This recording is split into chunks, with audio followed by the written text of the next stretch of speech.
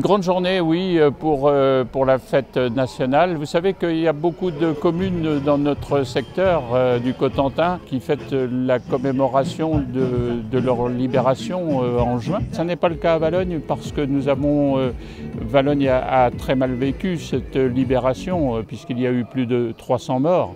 Et donc c'est au mois de juillet que nous fêtons. Et nous fêtons la fête nationale et ça commence la veille, le 13 juillet, puisque nous avons une course cycliste. Puis nous, nous enchaînons par un spectacle musical. Alors il y a les Miss Valognaise qui vont se produire euh, euh, en intermède pour permettre au public d'attendre euh, le feu d'artifice qui devrait être tiré aux alentours de 23 heures, qui euh, depuis euh, l'année dernière se tire sur la place du château au cœur de la ville.